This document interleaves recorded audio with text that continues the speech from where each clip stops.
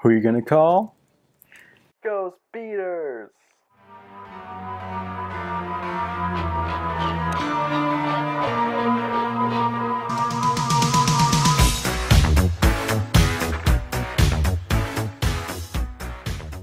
So, as well as a new Civil War trailer being released, a couple weeks ago the new Ghostbusters trailer came out.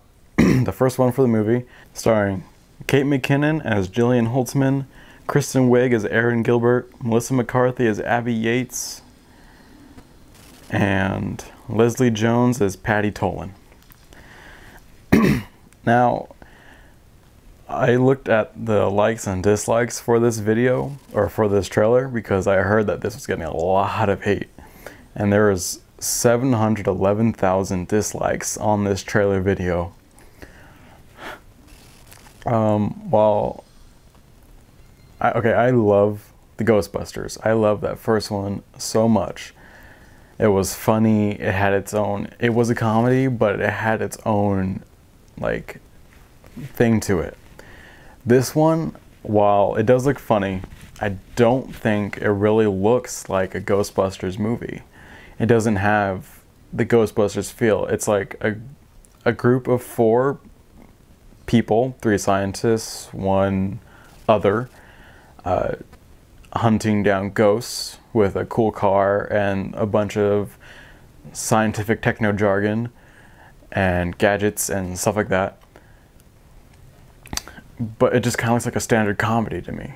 Now, I think it's going to be, I think it'll be pretty good. I think a lot of people are going to be eating their words and it's going to come out and be pretty decent. When we get remakes like this, and it's like a group movie, you get remakes of the characters as well. Like, we have the four guys being now they're four women. We have Winston being played by another African American woman. And then um, Egon is the the Hertzman character. The girl with the blonde hair and the crazy uh, yellow goggles, who actually I'm looking forward most to seeing because she looks like the most interesting character of the bunch. And then we have Melissa McCarthy, who I think might be uh, Venkman, kind of like a Venkman character, and then Erin is the Ray, possibly.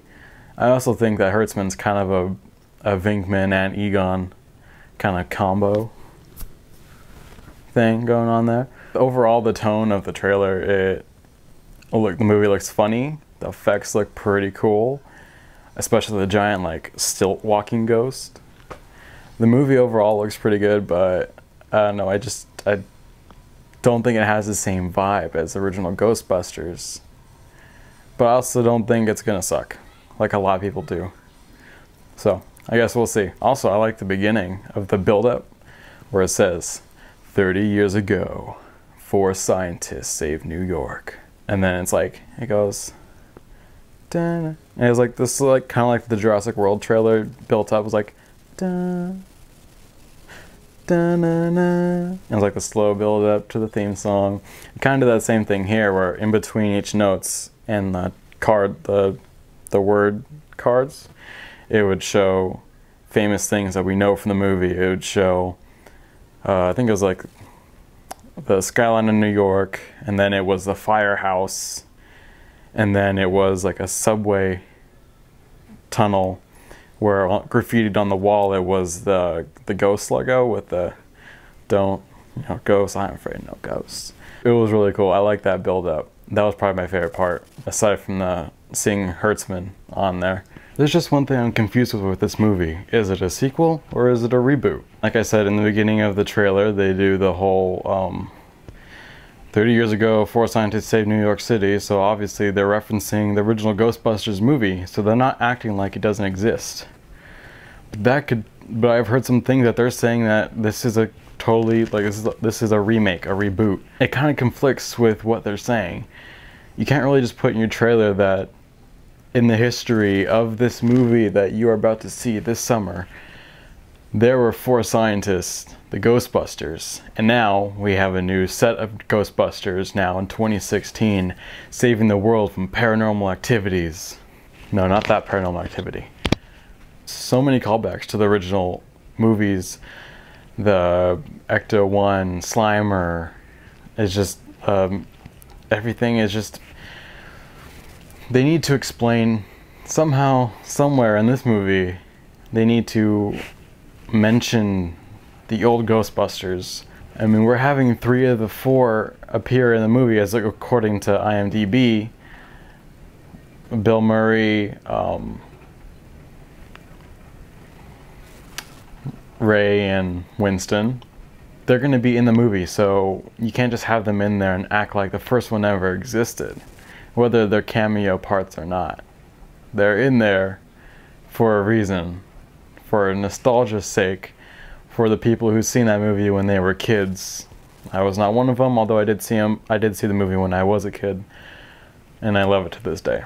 I mean, you got Slimer. Slimer was in the first movie. I feel like this movie might end up being like Ghostbusters 2, where they're like, oh, the first movie was so successful and funny and comedic and great. Everyone loved it. So we gotta push that extra hard in this sequel. Gotta try to make it's the whole thing is try to make them funnier. I mean, Ghostbusters 2 was still pretty good, not as good as the first one, but it did lack some stuff there, and that might be what this ends up being. But I'm still totally looking forward to it when it comes out, and I will be in theaters when it comes out for the good price of $13 a ticket. So we'll see. So Ghostbusters, will it suck? Won't it? Well, only one way to find out. Wait till this summer. Till next time, guys. Stay tuned.